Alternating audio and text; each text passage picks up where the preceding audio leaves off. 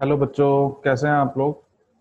आज हम डिस्कस करने वाले हैं एग्जांपल 1.9 इस क्वेश्चन में ना एक इलेक्ट्रिक डाइपोल दिया हुआ है हमें और उसके लिए डिफरेंट पॉइंट्स पे डिफरेंट पोजीशंस पे हमें इलेक्ट्रिक फ़ील्ड की वैल्यू पता करनी है। तो इलेक्ट्रिक डाइपोल के लिए डिफरेंट पोजिशन पे इलेक्ट्रिक फ़ील्ड के लिए डिफरेंट फॉर्मूले होते हैं। लेकिन उससे पहले हमें ये पता होना चाहिए कि डाइपोल होता क्या है। तो पहले डाइपोल समझेंगे डाइपोल मोमेंट समझेंगे, उसके बाद इस क्वेश्चन को सॉल्व करेंगे। तो डाइपोल के रिगार्डिंग देखते हैं क्या होता है डाइपोल ये दो इक्वल एंड अपोजिट चार्जेस लिए जाते हैं। एक माइनस क्यू और एक प्लस क्यू उन दोनों को एक दूसरे से स्मॉल सेपरेशन पे जब अरेंज कर दिया जाता है तो इस अरेंजमेंट को हम कहते हैं electric dipole the arrangement of two equal and opposite charges at a small separation from each other is known as electric dipole तो मैंने ये दो चार्जेस ले लिए। ठीक है? एक नेगेटिव क्यू एक पॉजिटिव क्यू दोनों को स्मॉल डिस्टेंस पे अरेंज कर दिया। ये बन गया हमारा डाइपोल ये डाइपोल का सेंटर है। सेंटर से एक तरफ़ की लेंथ एल दूसरे तरफ़ की length L total length 2L इस अरेंजमेंट ऑफ़ चार्जेस को हम कहते हैं इलेक्ट्रिक डाइपोल अच्छा ये बन गया इलेक्ट्रिक डाइपोल इसी के साथ हमें आइडियल इलेक्ट्रिक डाइपोल के बारे में भी पता होना चाहिए। अगर इसी डाइपोल में ये चार्ज की वैल्यू बहुत हाई हो जाए लार्ज हो जाए लार्ज या हाई और ये जो इनके बीच का सेपरेशन है, ये बहुत स्मॉल हो जाए तो ऐसे डाइपोल को हम कहते हैं आइडियल इलेक्ट्रिक डाइपोल अच्छा अब एक नई चीज़ डाइपोल मोमेंट हमें पता होना चाहिए।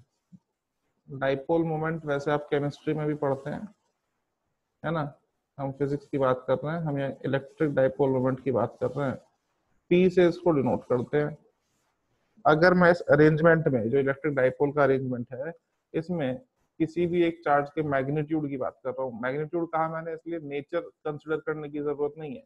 अगर किसी भी एक चार्ज के मैग्नीट्यूड की मल्टीप्लाई डाइपोल की टोटल लेंथ से कर दूँ तो एक नई फ़िज़िकल क्वांटिटी हमें मिलती है, उसे हम कहते हैं इलेक्ट्रिक डाइपोल मोमेंट पी से इसको डिनोट करते हैं। ठीक है? The product of either charge with the total separation in between the charges इसे हम कहते हैं इलेक्ट्रिक डाइपोल मोमेंट तो अब इस क्वेश्चन में हमें ऐसा ही एक डाइपोल दिया है। कहा नहीं है वर्ड डाइपोल इस्तेमाल नहीं किया है है ना? सिर्फ़ अरेंजमेंट दिया है। दो चार्जेस ध्यान से देखेंगे तो दिखाई देगा। ये पहला चार्ज प्लस टेन की पावर माइनस एट गुलाम और दूसरा चार्ज माइनस टेन की पावर एट गुलाम तो वैल्यू दोनों की इक्वल है है ना? नेचर अपोजिट है। तो मतलब डाइपोल बन गया। तो यहाँ रखा है हमारा Q1 और यहाँ रखा है Q2 अच्छा तीन पॉइंट्स पे हमें इलेक्ट्रिक फ़ील्ड बताना है। बारी बारी तीनों पॉइंट्स पे कैलकुलेट करेंगे। पहले ए पॉइंट पे इलेक्ट्रिक फ़ील्ड बताना है। ए पॉइंट इन इस डाइपोल का सेंटर है। तो सेंटर पे हमें फ़ील्ड बताना है। है ना?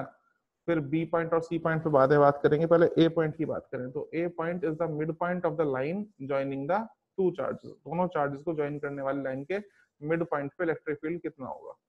तो इसके लिए समझते हैं थोड़ा सा इसको। इलेक्ट्रिक फ़ील्ड जब भी स्टडी किया जाता है तो उसमें हम इस्तेमाल करते हैं टेस्ट चार्ज और टेस्ट चार्ज जो होता है, वो यूनिट पॉजिटिव चार्ज होता है। यूनिट पॉजिटिव चार्ज क्योंकि ये पॉजिटिव नेचर का होता है तो पॉजिटिव चार्ज इसको रिपेल करेगा और नेगेटिव इसको अट्रैक्ट करेगा। Q1 पे जो चार्ज है, वो प्लस टेन की पावर माइनस एट गुलाम है और Q2 पे जो है, वो माइनस टेन की पावर माइनस एट गुलाम है।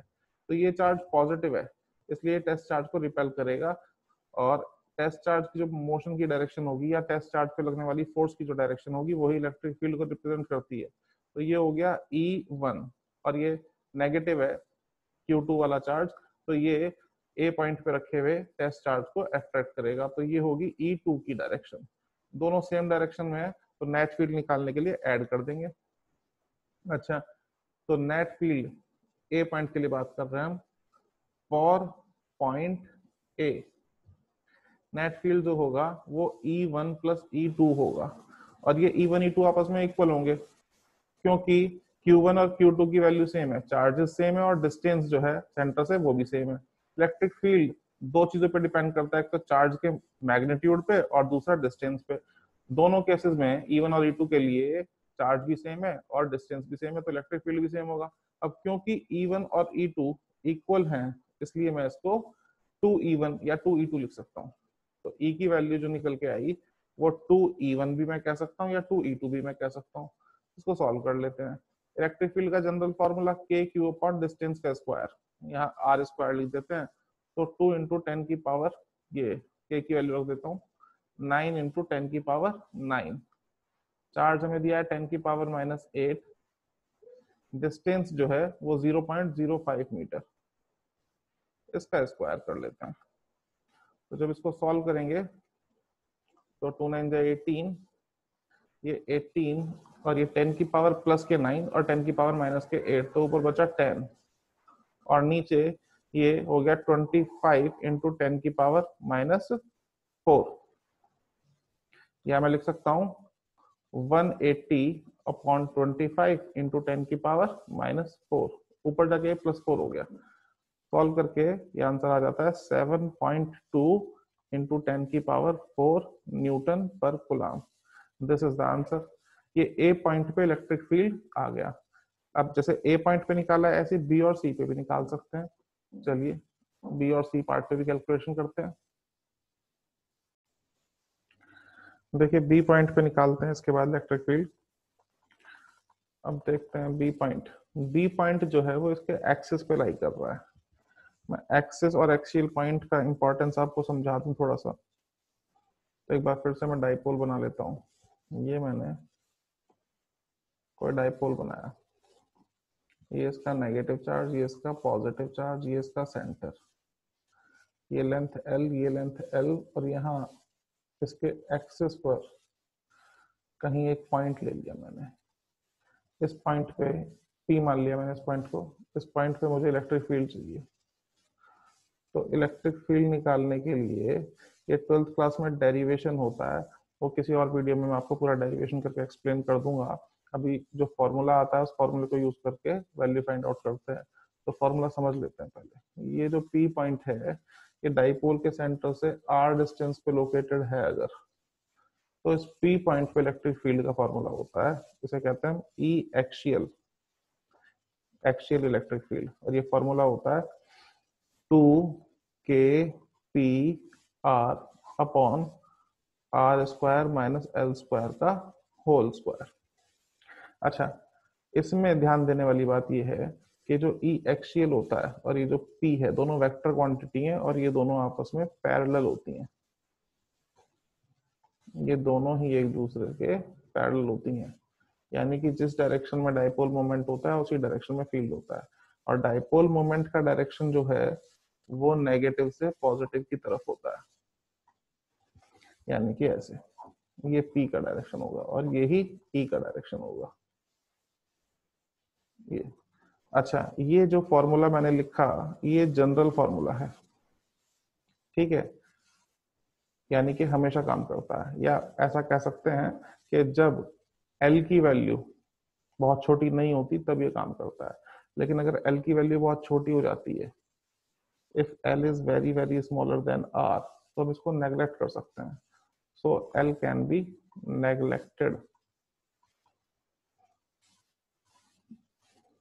in denominator और जब इसको नेग्लेक्ट कर देते हैं तो फॉर्मूला हमारा बदल जाता है।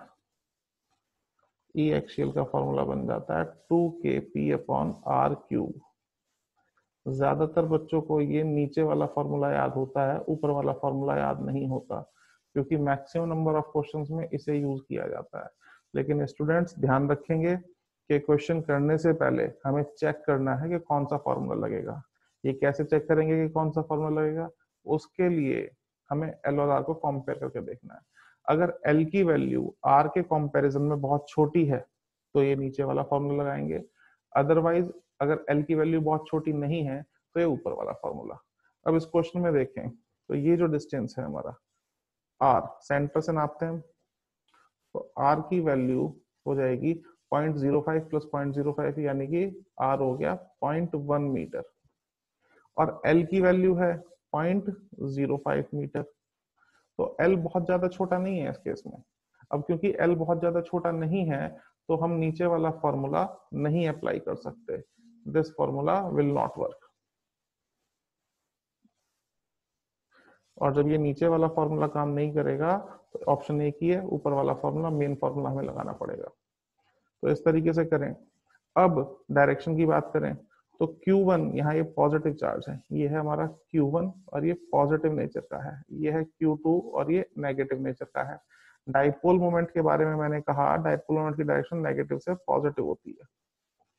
इलेक्ट्रिक फ़ील्ड एक्सियल केस में डाइपोल मोमेंट के पैरेलल है, इसलिए इलेक्ट्रिक फ़ील्ड भी ऐसे होगा। तो इलेक्ट्रिक फ़ील्ड की डायरेक्शन मिल गई।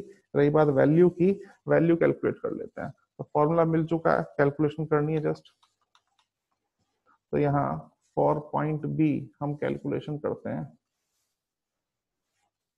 इलेक्ट्रिक फ़ील्ड के लिए ये हो जाएगा हमारा two K P R upon R square minus L square का होल स्क्वायर अच्छा पी को खोल के लिख लें तो Q into two L upon R square minus L square का होल स्क्वायर बस वैल्यूज़ पुट करनी है आंसर आ जाएगा। के की वैल्यू नाइन इंटू टेन की पावर नाइन चार्ज हमें टेन की पावर माइनस एट गुलाम दिया है। Length total length of dipole है ना? वो पॉइंट वन मीटर क्वेश्चन में प्रोवाइडेड है। सेंटर से जो डिस्टेंस दिया है, वो पॉइंट ज़ीरो फाइव है है ना? तो दोनों चार्जेस के बीच का आपस का डिस्टेंस हो गया पॉइंट वन मीटर आर की वैल्यू सेंटर से बी पॉइंट तक का डिस्टेंस होगी, उसकी वैल्यू भी यहाँ पॉइंट वन है। अच्छा अब डिनोमिनेटर में देखें। तो डिनोमिनेटर में आर स्क्वायर यानी कि पॉइंट वन का स्क्वायर एल स्क्वायर यानी कि पॉइंट ज़ीरो फाइव का स्क्वायर और फिर डिफरेंस का होल स्क्वायर इसको सॉल्व कर लेते हैं। तो स्टूडेंट मल्टीप्लाई कर सकते हैं। नाइन टू जो एटीन यहाँ टेन की पावर माइनस नाइन टेन की power minus eight point one को मैं टेन की पावर माइनस वन लिख सकता हूँ। अच्छा डिनोमिनेटर में। पॉइंट वन का स्क्वायर हो जाएगा पॉइंट ज़ीरो वन और point zero five, point zero zero two five. इसका होल स्क्वायर तो ऊपर ये टेन की पावर माइनस नाइन सॉरी ये प्लस नाइन था। प्लस नाइन और ये minus eight minus eight minus nine और माइनस टेन तो ऊपर बचेगा एटीन इंटू टेन की पावर माइनस वन और डिनोमिनेटर में यह आ जाएगा point zero zero seven five का होल स्क्वायर ऊपर हो गया वन पॉइंट एट और नीचे ये हो गया 75 फाइव इंटू टेन की पावर माइनस फोर का होल स्क्वायर ये इलेक्ट्रिक फ़ील्ड ऊपर 1.8 नीचे मैं इसको लिखूँगा 75 फाइव इंटू सेवेंटी फाइव का स्क्वायर दैट इज़ 5625 और 10 की पावर माइनस फोर का स्क्वायर 10 की पावर माइनस एट इसको सिंप्लीफाई करके लिखें तो 1.8 डिवाइडेड बाय 0.5625 इंटू टेन की पावर फोर टेन की पावर माइनस एट तो ये हो गया हमारा E is equal to 1.8 divided by 0.5625 into 10 की पावर माइनस फोर या 1.8 अपॉन 0.5625 इंटू टेन की पावर फोर ये सॉल्व करके आता है 3.2 इंटू टेन की पावर फोर न्यूटन पर कुलाम ये आ गया बी पॉइंट पे इलेक्ट्रिक फ़ील्ड एनसीआरटी वालों ने जो इसको सॉल्व किया है, वो डिटेल में अलग अलग चार्ज के लिए अलग अलग फ़ील्ड निकाल के सॉल्व किया है, वो थोड़ा लेंदी हो गया. इसलिए इसको मैंने डायरेक्ट किया है, आप लोगों को समझने में आसानी रहेगी और क्वेश्चन थोड़ा शॉर्ट भी हो गया. ये बी पार्ट पे इलेक्ट्रिक फ़ील्ड आ गया. अब सी पार्ट के लिए सी पॉइंट पे इलेक्ट्रिक फ़ील्ड निकालेंगे. देखते हैं. कैसे होगा ये देखिए सी पॉइंट पे निकालते हैं इलेक्ट्रिक फ़ील्ड तो सी पॉइंट जो है, वो इक्वेटोरियल लाइन पे लाई कर रहा है, या परपेंडिकुलर बाइसेक्टर पे लाई कर रहा है. इक्वेटोरियल लाइन के लिए डाइपोल का फॉर्मूला पहले तो इक्वेटोरियल लाइन समझ लीजिए. परपेंडिकुलर बाइसेक्टर पे आने वाले लाइन को हम कहते हैं इक्वेटोरियल लाइन अच्छा और इक्वेटोरियल लाइन के लिए जो इलेक्ट्रिक फ़ील्ड का फॉर्मूला होता है, वो होता है K P upon R square plus L square की पावर थ्री बाय टू अच्छा जी। ये फिर मैं वही बात कहूँगा कि ये जनरल फॉर्मूला है। आइडियल केस के लिए आइडियल से मेरा मतलब जो लेंथ बहुत छोटी होती है डायपोल के लिए, उस केस के लिए फॉर्मूला बदल जाएगा और आइडियल केस में फॉर्मूला हो जाता है एल को नेग्लेक्ट कर देते हैं, इसलिए के पी अपॉन आर क्यू ये दो फॉर्मूले हैं। ये नीचे वाला आइडियल सिचुएशन के लिए जब एल बहुत छोटा हो आर से, और ऊपर वाला जनरल फॉर्मूला हमेशा काम करेगा, या जब एल नेग्लेक्ट नहीं किया जा सकता, तब काम करेगा। और इक्वेटोरियल के केस में जो इलेक्ट्रिक फ़ील्ड होता है, वो एंटी पैरेलल होता है डाइपोल मोमेंट के, यानी कि डाइपोल मोमेंट के अपोजिट डायरेक्शन में होगा। यहाँ पे ये Q1 पॉजिटिव है Q2 नेगेटिव है तो डाइपोल मोमेंट हमारा डायरेक्टेड होगा ऐसे। और इलेक्ट्रिक फ़ील्ड इक्वेटोरियल डायरेक्टेड होगा ऐसे। यानी कि ये डायरेक्शन होगी ई इक्वेटोरियल की। अब रही बात वैल्यू की तो कैलकुलेट कर लेते हैं, यहाँ दिखाई दे रहा है। यहाँ एल बहुत छोटा नहीं है, इसलिए एल को नेग्लेक्ट नहीं कर सकते, है ना?